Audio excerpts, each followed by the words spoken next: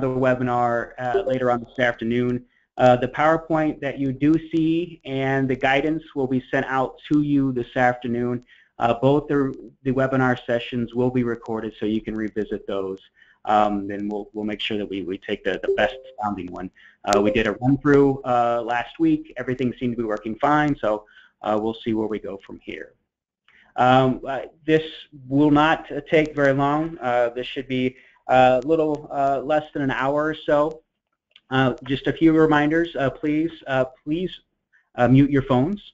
Um, then we will take questions at the end. So please, I, I know all of you have some questions. hopefully this presentation will answer some of those. Uh, but if you do have any remaining questions, uh, please hold those uh, until the end. So we will go ahead and get started. good morning and welcome to the Shared Plan Guidance webinar. we wanted to take this opportunity to roll out the guidance as close to face-to-face -face as we could rather than just uh, sending it out to all of you and waiting until the January regional meetings to discuss more in depth.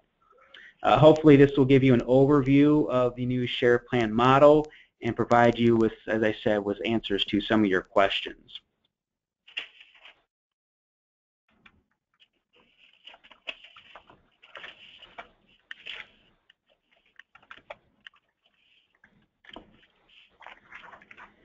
Creating, and as uh, most of you know, uh, creating a planning process is not a new requirement for uh, councils.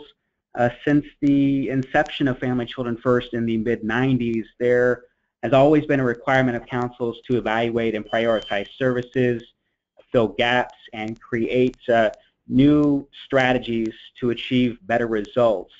Uh, this requirement looked different in each county at the time and was completed to levels of varying degree. Uh, there was not a prescriptive approach provided, and counties developed their own informal approaches based on community resources and whatever they had available to them. In 2006, that informal process became more formalized with the passage of House Bill 289 that required councils to establish a formal process to identify priorities, monitor the progress of meeting those priorities, and develop an annual plan that identifies cross-system efforts to help increase child well-being and family well-being in the county. Uh, the results of these plans were to be reported annually uh, to our office, and that is a process that remains today. As the process of House Bill 289 required counties to become more prescriptive in their planning processes, feedback that was received over a number of years indicated that this planning work was duplicative to work already being completed by each of the Family Children First Council mandated members for their respective state departments. According to the feedback that was received, each of the council members were required to conduct a similar process and that the new planning process established in House Bill 289 seemed to add another layer to that work that was seen and viewed as duplicative. Uh, based on this feedback, Ohio Family and Children First, in partnership with The Ohio State University, transitioned the annual House Bill 289 planning process to a shared planning model that was designed to take into account the work currently happening with system partners and use that work to identify a longer-term strategic plan built upon shared priorities that were culminated from each of these system plans. So basically what we asked you to do was to look at the plans that you had available in your communities, kind of cross-reference those to see where some of the shared priorities are going to be, and then plan around those priorities. The, the share plan process was developed and reviewed by a group of counties that provided feedback to help clarify the process and to identify local plans that could be included in the review process that each county will be conducting. That feedback informed the final version of the share plan that was then piloted by the 25 family and civic engagement counties at that time. Uh, the guidance and the affiliated training was then rolled out statewide to the County Family Children First Councils, and they created their first four-year strategic plans. As the results of the developed share plans uh, were reviewed, feedback started to roll in that indicated inconsistencies with the local plans that were reviewed. Feedback of these plan inconsistencies started to be echoed across the state. And there was feedback provided that indicated lack of consistency in the availability of local plans and the types of plans that were available, the quality and scope of those plans, the time frame in which the plans were written. Some were annual plans, other were longer-term strategic plans, and some were just plans for very specific populations. And the data that was used to develop the plans and the overall usefulness of the plans included in the shared planning process. So there was a lot of inconsistencies based on what was available in your community to conduct your shared plan around. As the time frame for the current plans was ending towards the end of year state fiscal year 2015, it was clear based on the feedback that additional modifications were going to be needed as the counties develop their new multi-year shared plans. Based on the feedback that was provided, the varied results of the previous planning process and the amount of turnover as experienced locally with Family Children First coordinators and Family Children First mandated members, it was decided that a new foundation on the shared plan model needed to be built to be able to effectively move this forward. Researching various planning processes and procedures, it was discovered that the collective impact model had similar components to the Family Children First planning process already in place, but it provided a more community-wide view on how shared priorities are identified and addressed within the individual shared plans. The collective impact model allows for the combing of local system plans, but provides leeway for counties to identify shared priorities in a variety of ways. And as I mentioned before, the collective impact model is built upon five interconnected components that are designed to produce strong alignment among system partners to lead to large-scale community results. And on your screen, you see those five components, which include a common agenda, where all participants share a vision for change that includes a common understanding of the problem and a joint approach to solving the problem through agreed upon actions. You have shared measurements, where all participating organizations agree on the ways that success will be measured and reported. You have mutually reinforcing activities. The organizations agree to coordinate a set of differentiated activities through a mutually reinforcing plan of action. You have continuous communication, where all stakeholders engage in frequent and structured open communication to build trust, assess, uh, assure mutual objectives, and receive common motivation through the creation of this communication. And finally, you have backbone support. And basically that calls for an independent staff that is dedicated to the initiative uh, that provides ongoing, to, ongoing support by guiding the initiative's vision and strategy, you supporting the aligned activities, you establish shared measurement policies, you advance policies, and you mobilize resources. So those are the core components of collective impact. And I know a few of you uh, in the counties that are doing extensive research on this. I provided a background on this at the coordinator's annual meeting back in October, and this information has been floating around. But one of the things that I want to make clear that this new shared planning process for Ohio Family and Children First is not going to be a carbon copy of the collective impact model. Rather, it'll be utilizing some of the components as foundational components of the shared plan process going forward. Just due to feasibility and the ease of trying to have your counties work through this, we've attempted to utilize as much of the current process as possible while borrowing parts of collective impact that will hopefully address the inconsistencies that came to light in the previous planning efforts.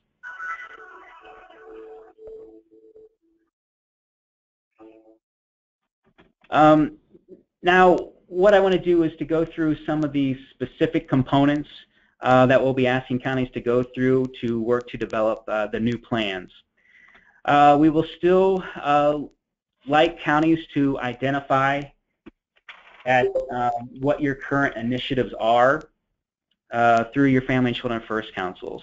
Uh, it's similar to what you're doing now. This is not meant to be an exhaustive list of county programming but only those initiatives that have direct tie to your local Family and Children First Council. We'll be asking you to conduct some sort of process to identify additional shared priorities that are not currently identified in your initiatives inventory. Uh, this is currently the same as we have, and we'll be keeping the process the same moving forward. Uh, these priorities can be issue specific, they can be infrastructure in nature, and or enhancing the capacity of your local Family Children First Council to collaborate.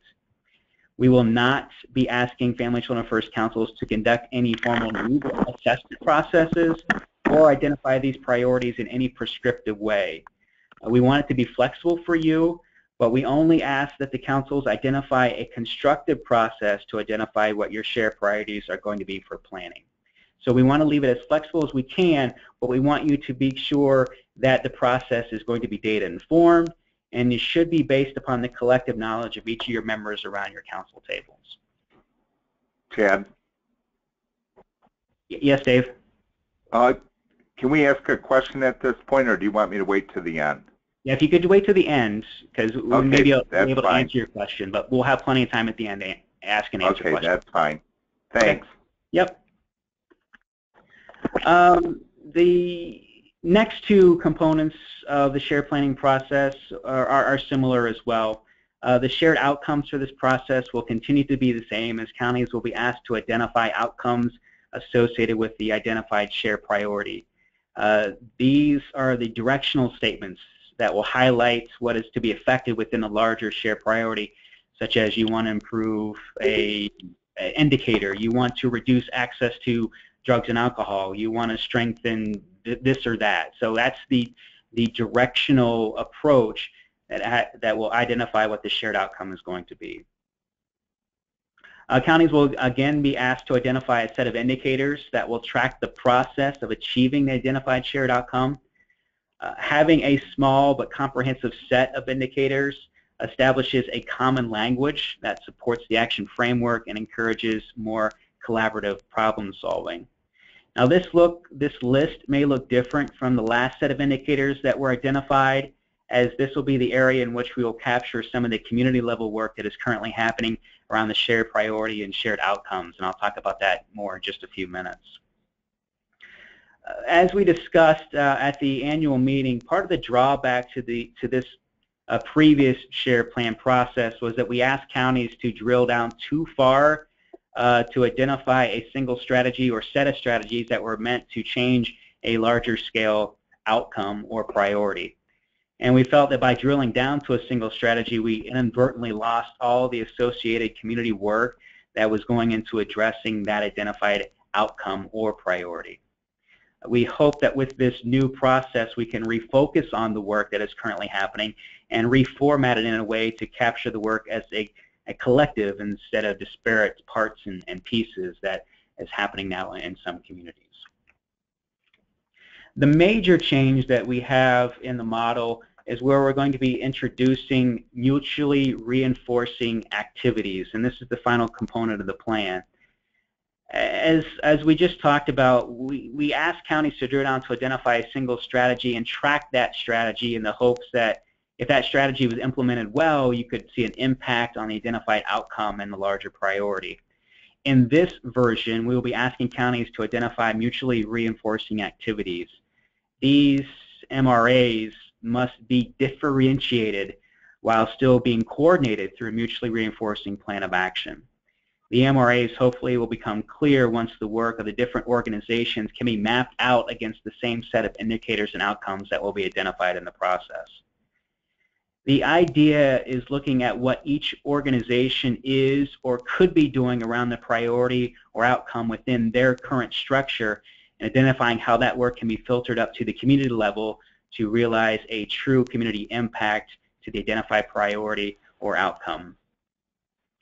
While the MRAs in this model eh, are taking the place of the shared strategies, we still want to provide each county with the opportunity to develop a new or additional response action on behalf of family and children first. We don't want to limit that possibility, but we feel that it's equally important to identify all the activities occurring in the community that are addressing the priorities. So you will, um, there, there's no prohibition of developing uh, something new through your council, but we also want you to make sure that you're, you're doing to work to identify what's currently happening.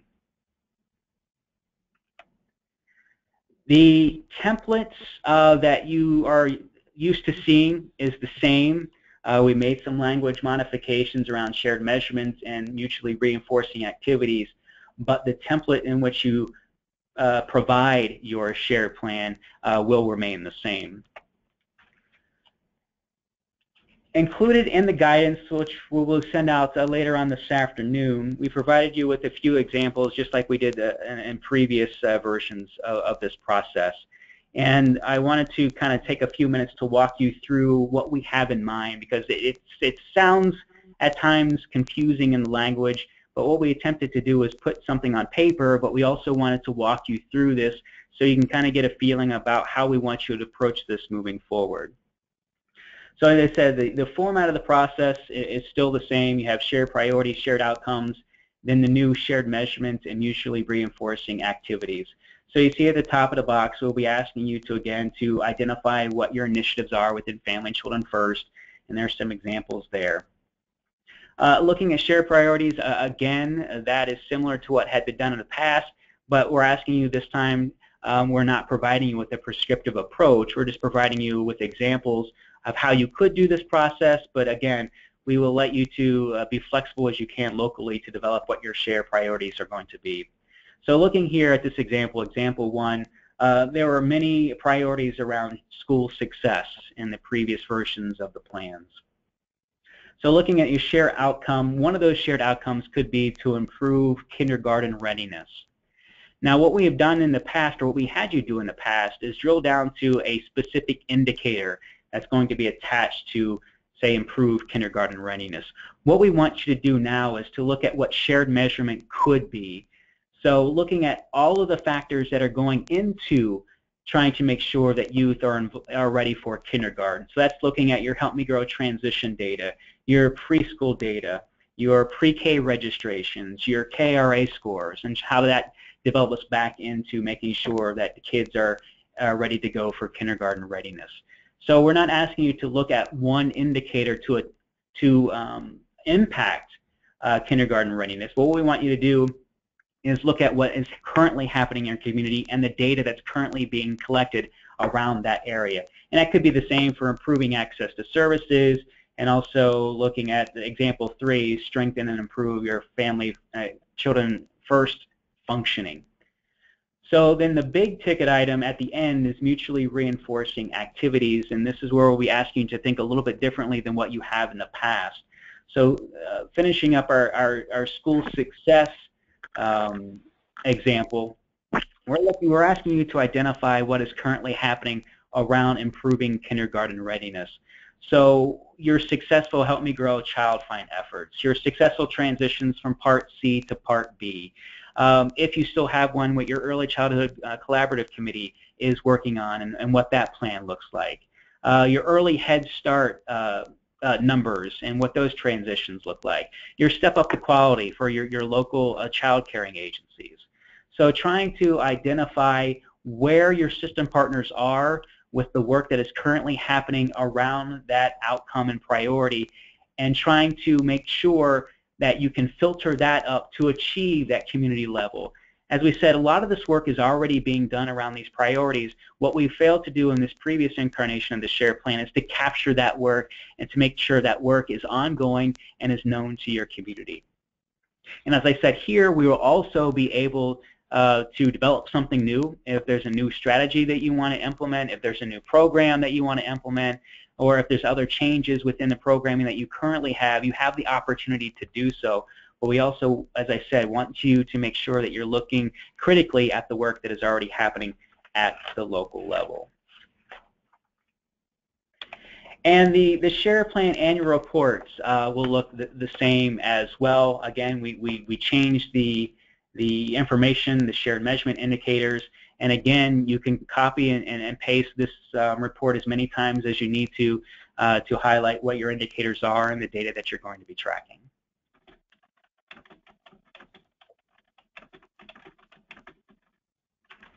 So identifying some, some next steps for uh, Family and Children uh, First Council. Um, over the last number of weeks, I have been in conversations with leadership of the Coordinators Association discussing what resources and training that will be available from us here at Ohio Family and Children First to roll out this new guidance. Uh, we have made the commitment to dedicating the majority of our first three regional meetings of 2016 to allow counties the opportunities to work more in depth with the model in a group setting and hopefully get answers to all the questions about the process and the end result, which will be due on July 31st of 2016. During the previous rollout of the share plan guidance, the state already had a working relationship with um, Ohio State and CLEX, uh, was known at the time, on additional uh, initiatives uh, that were ongoing and the development training and TA of the share plan model were rolled into that work. Unfortunately, uh, this is not the case at this time. However, I have been in discussions with leadership of the association on what association-supported training and technical assistance might look like if the opportunity arises. Uh, we are currently having joint discussions with OSU and SEAT about, again, taking up the mantle of providing training and technical assistance around this new model, and those discussions seem promising. Uh, these discussions uh, will be ongoing, uh, but OSU has always been a great partner of ours, and they have uh, worked uh, with Joyce and I as we developed uh, the guidance in this new plan, and they've offered some suggestions to councils on some of the things that they could be doing uh, between now and the regional meetings and the subsequent me regional meetings for planning. And I, I want to take them, uh, take a few minutes to provide them an opportunity to present any words of wisdom for councils moving forward. So I know that we have uh, at least uh, Melissa Ross on the line. I think she may be uh, joined by Dave Julian and, and Beth Crawford. So Melissa, if you are available and on the line, I'd like to turn it over to you for a few minutes to talk about what potential next steps would be for councils moving forward. Okay, hi. Thank you, Chad. This is Melissa Ross. Dave Julian is also here in the room with me.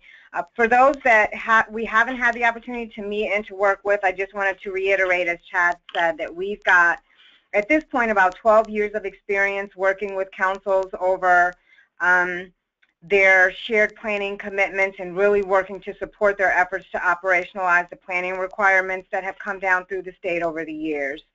Uh, we've really worked to refine the tools that we have created in the past and really um, customize them based on the lessons learned with our work with previous councils and have worked to streamline them such that they will be feasible to implement between the January and, and July timeline that you all have for this for this phase of the work. And so as Chad said, we're partnering with your Ohio Family and Children First and the association to work to support you through the regional planning meetings. And so it's our suggestion that your first step might be to take the information that you're gaining today and present that to your councils and really begin to kind of kick off in a formal way this next round of planning if you haven't already done so. As Chad said, we are in the process now of developing a, a customized version for this seventh month process of tools and procedures that will be rolled out through the regional meeting process. We'll also be providing um, some coaching services to folks primarily through the phone and, and email so that we can support your ongoing efforts to try and apply either the tools and procedures that we present or if you decide to go another route and just need a sounding board or additional support, we can be there um, remotely to support you in that way as well. So with that, I'm going to turn it over to Dave, who's just going to do a quick summary of, of how we're thinking about the tools and procedures. Thanks, Melissa. Um, again, I, I, I just want to reiterate or um, uh, support uh, what what Melissa said, and, and probably the easiest way to do that is to contrast uh, where we've been historically with, with where we think we can be as we move into the, um, the new shared planning process. I mean, for those folks who've been involved in comprehensive community planning, I think there's a common understanding of the complexity and time and resources that that, that requires. And, and just as an illustration, um, um, when we started this process, we we had a long um, series of steps that required many months to implement and uh, a number of different tools that supported that process and so forth. In this new iteration, we really believe that we can condense that process um, into a, uh, into a few meetings and, and perhaps with a half a dozen tools or so. So, I mean, the sacrifice we're making is um, um, reducing some of the complexity and, and, and limiting our focus. On the other hand, what we really gain is the opportunity to do this at a much lower investment of resources and um, uh, uh, time and, and, and so forth. So as we roll into January, we'll be prepared to unveil uh, what this looks like. And again, the idea is to sort of create the uh, step-by-step process supported with with um, um, very um, structured tools that uh, will allow you to move this process, move through this process in a um, pretty efficient way. So uh, again, looking forward to uh, working with folks, and um, uh, we're we're uh, putting the pieces together as we speak.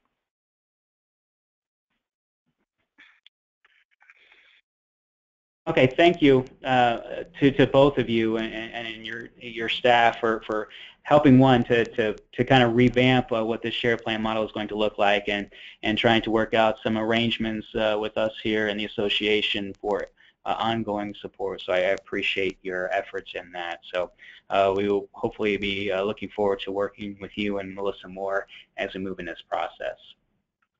Uh, the final thing that I want to uh, discuss today before we turn it over to, uh, to questions is um, our 2016 uh, regional meetings. Um, as I said, we're going to provide the, the, majority of our regional meetings in January, March, and May uh, to look at this and to provide you with ongoing support and effort. Um, we will be extending all January regional meetings uh, they'll be scheduled for 9.30 to 12.30 uh, to provide ample time for rollouts. And we're doing this for, for one reason, um, is that as um, previously committed, uh, we will be conducting the engaged learning communities after the regional meeting uh, in each of the regional meetings in January at 1 o'clock. Uh, so we wanted to keep with that commitment. So to provide ample time to uh, to review the rollout, uh, to answer any additional questions, and then to start the training, we wanted to make sure that we gave um, everyone enough time to be able to do that. So we're going to be extending each of the January re regional meetings from 9.30 to 12.30.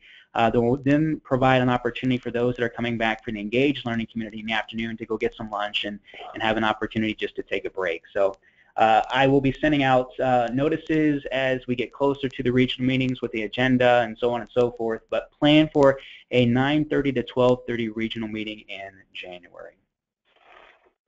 So that is all that I have uh, as far as uh, uh, prepared material. So I want to take it over or turn it over to try to answer any questions that any of you have at this point. So uh, please make sure that your, your line is unmuted and we'll take the questions one by one. So Dave, I, I know that you had one there in Lucas County. Chad, I think you kind of answered that, and it was just that, uh, again, rather than adding a new initiative or that to the council, because a lot, like for instance, our work in early Head Start, that cuts across a number of different partners in the community, and so what we would want to do is look at what we're already doing and how do we better integrate with other partners in the community. Yes, that's correct. We, we want to, for, for these um, outcomes and priorities, we want to make sure that, that counties have an opportunity to capture the work that, is already do, uh, that they're already doing and bring that up to a community level to make sure that, that that priority and that outcome is being realized as effectively and efficiently as possible. And I, I just want to comment real quick. I really, really appreciate the kind of approach you've taken on this, too. Thank you. Chad, Nancy Omahan. Yes. Uh, you know, our council meets every other month. Uh, are these tools going to be something that they can do without having to convene um, many, many times? I, will turn that over to, to Melissa and Dave, but yeah, I, um, I, I, think Melissa and or Dave mentioned that the tools that we, they will be providing will be feasible uh, so that counties can have the opportunity to, to work within that, that, that six-month time frame that we're providing them. So, uh, Melissa, Dave, do you have any other context to that, to that question? Um, I, I, just reinforcing that idea, um, I think it's um, as, as, we begin to look at these tools, we're, we're really trying to pull together a set of activities that, again, can be completed relatively quickly. Um, uh, certainly some of that application can occur, can occur outside of a, a, council meeting. There probably will be a requirement for at least a meeting or two. Um, but again, this is the idea here is not a long, drawn-out process that requires meeting after meeting. This is um, um, uh, generating some information rather quickly, acting on, on that information, identifying um, uh, shared priorities and, and, and, and, and, so forth. So again, we, we think we can meet that requirement uh, to, to do this quickly in a few meetings.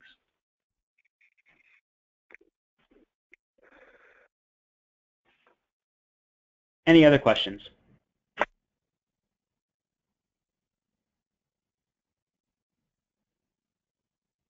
Okay. Um, uh, one thing I, I, would be remiss in, in, not doing or thanking the uh, dozen or so counties, I think we had 12 or 13 counties that reviewed the guidance uh, prior to us finalizing it and, and, getting it sent out to you later this afternoon. So uh, those counties know who they are. So thank you very much for that. Um, uh, that feedback. We did we took that feedback to heart. We we made some changes uh, to the guidance, and you will see that uh, later on this afternoon.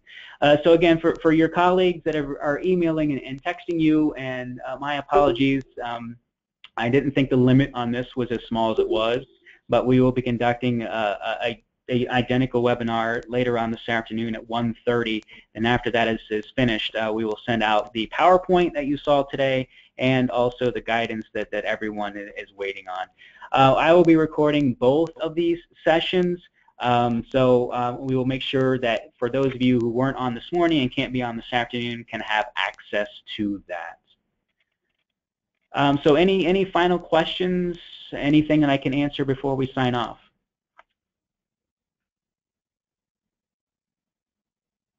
Okay, thank you very much. Uh, I hope everyone, you and your families, have a Merry Christmas and a Happy Holiday, and we will see you at the regional meetings in January. Thank you very much.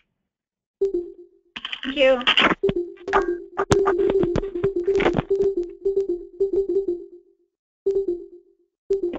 You